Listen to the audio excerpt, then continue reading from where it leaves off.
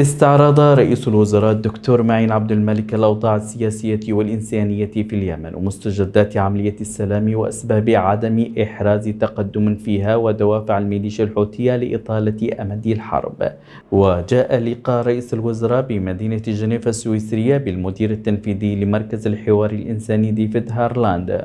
والمدير الإقليمي للشرق الأوسط وشمال إفريقيا في المركز رومان جراند جيان وكاتيا بيابيني مديرة قسم الوساطة والسياسات ومسؤولين آخرين بالمركز.